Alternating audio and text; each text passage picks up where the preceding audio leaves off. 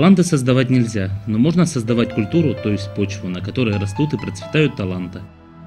Это высказывание как нельзя лучше подходит Лабинской детской школе искусств, ведь она является истинной хранительницей истории музыкальной культуры России и нашей малой родины Кубани. Сегодня невозможно представить развитие города и района без творческого вклада школы в воспитание молодежи. Здесь помогают маленькому человеку подняться к высотам духовного богатства и величия, стать гармонично развитой личностью. Детская школа искусств – это маленькая страна трудолюбия, пример чуткого отношения к молодым дарованиям. Весна для этого учреждения – традиционная пора подведения творческих итогов, участия в зональных, краевых и региональных конкурсах. В этом году весенняя пора оказалась особенно урожайной. В этом году как никогда у нас очень много конкурсов, конкурсов э, больших масштабов. И в копилку музыкальной школы э, поступило очень много э, медалей, призовых медалей лауреатов первых, вторых мест. В этом году отличились дети, и в крае пять человек стали стипендиатами губернаторов Краснодарского края. Александр Бурханов обучается по классу баяна у преподавателя Михаила Трунова. Саша обладает яркими музыкальными данными. Творческое дарование и настойчивость в достижении поставленных целей позволяют ему добиваться высоких профессиональных успехов. Губернаторскую стипендию воспитанник школы получил впервые. Это моя первая стипендия. Обучаюсь я в детской школе в шестом классе. Во многих конкурсах участвовал в краевом конкурсе, в международном конкурсе в Польше, в городе Ровы. В основном во всех становился лауреатом, занимал призовые места. Никита Чубаров обучается в школе искусств на фортепианном отделении. С первых дней он проявил себя как способный талантливый ученик. Его игру отличают хорошая техника и эмоциональность. Несмотря на юный возраст, Никита уже добился значительных результатов. В его творческом багаже дипломы многочисленных конкурсов и фестивалей. Третий стипендиат губернатора Александр Кириленко занимается по классу домры и гитары. Саша демонстрирует высокие результаты в конкурсах различного уровня, краевых, всероссийских и даже международных, достойно защищая честь Лабинского района.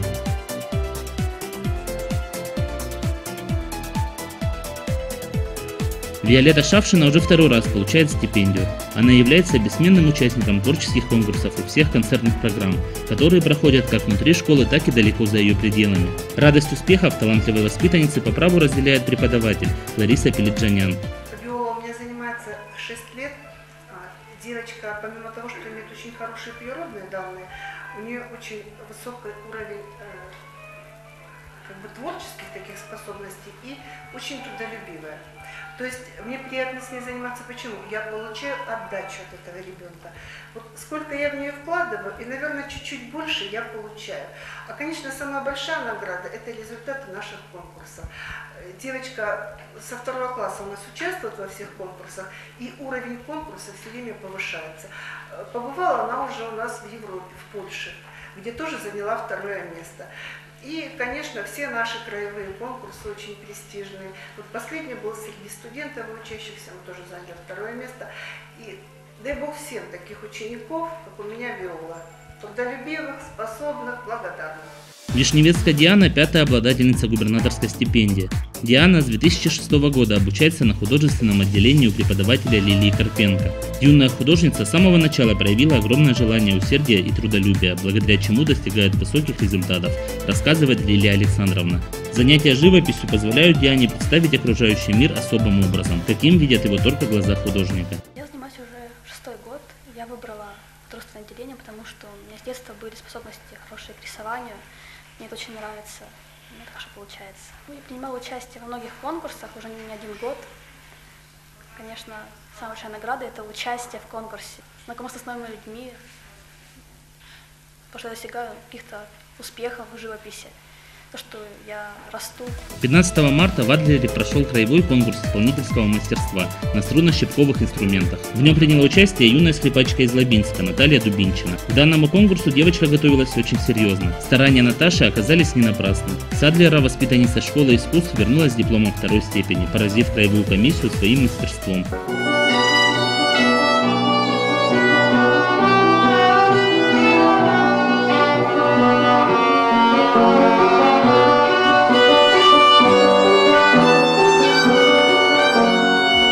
Конце марта лучшие ученики школы искусств участвовали в краевом конкурсе, который проходил в городе Сочи. Наши ребята достойно выступили и заняли призовые места, говорит заведующая народным отделением Татьяна Роднинская. 28 марта по 31 марта в городе Сочи проходил 30-й открытый конкурс исполнителей на народных инструментах. Это выступали выпускники, играли. И, значит, нашу школу достойно представляли выпускники школы нашей. Это Агаева Дарья, Шавшина Виолетта, Кашников Мирослав и Кириленко Александр. Дети достойно выступили. У нас, значит, первое место – это Кашников Мирослав, преподаватель Ямбулатова Асия Николаевна. И три вторых места – Агаева Даша, преподаватель Родницкая Татьяна Александровна, Кириленко Александр, преподаватель Ямбулатова и Шавшина Виолетта, преподаватель Пеледжанян Лариса Михайловна. Я считаю, что очень высокие показатели. Ребята соревновались со студентами музыкальных училищ, первый, второй курс. И ну, очень достойно, на высоком уровне представили нашу школу. Дарья Агаева на доме играет уже много лет. За это время она достигла высоких результатов. Сегодня ни один концерт не проходит без ее участия. Свою копилку творческих успехов она постоянно пополняет новыми дипломами и наградами. Мирослав Кашников поступил в школу искусств в 2003 году. Он показал отличные музыкальные данные, великолепный слух, память и чувство ритма. Мирослав начал осваивать мастерство игры сразу на двух инструментах – гитаре и домре.